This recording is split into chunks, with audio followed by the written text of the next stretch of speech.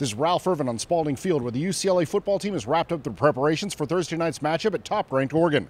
We begin our preview with the offense. Here's UCLA quarterback Kevin Prince and tackle Mike Harris.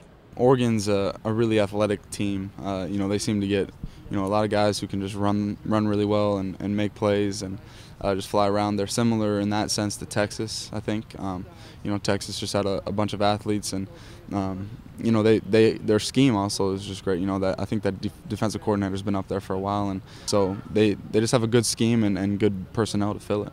We just got to be physical for the most part. They're they're a good defensive line, fast guys. Um, we're just going to try to move them back. That's all we can do, and just create holes for Jet and Coleman. And I feel like if we can get that done, then there's no stopping us. I feel like we play good, we have a great chance of winning. And um, last week we we didn't play good as a line, so I feel like that's why we you know didn't win.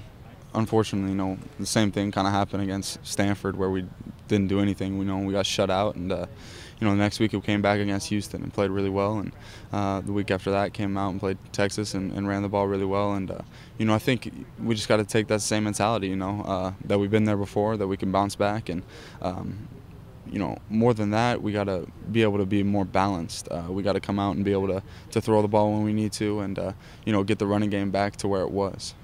We're really close knit. I feel like this year we have a bunch of smart guys on there, a bunch of um, seniors and experienced guys.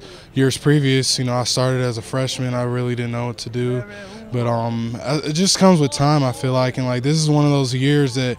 You know, the team success is going to lie on us, I feel like. And um, in order to beat Oregon, we're going to have to do our job and do it to the best of our knowledge.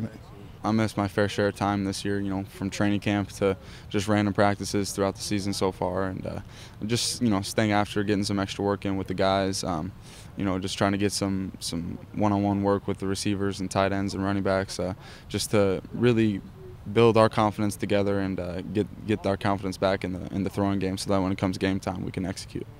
On defense, the Bruins must stop a prolific Oregon attack. We get the inside scoop from UCLA linebacker Akeem Ayers and defensive tackle Nate Chandler. They do a good job, you know, misdirection. Uh, it comes down to us uh, doing playing our responsibilities and uh, playing di disciplined football because they, uh, they they make big plays off us being undisciplined and not being in our gaps. So that's kind of how it works gaps, gap integrity. Uh, we got to stay in our gaps because Oregon's the type of team that likes to uh, play off the other team's flaws, and if uh, we're getting out of our gaps, they're gonna they're gonna hit it, and that's where they get their big plays from. They got a real good back, number 21, and uh, when he's in space, he can get loose, and um, he spins off runs and stuff like that. And as a D line, we just got to be keep our gaps and don't get reach and stay and keep contained. That's something that we improved on over the summer. We had, see a lot more team speed on defense and guys able to move and run all across the board from the D line to linebackers to secondary.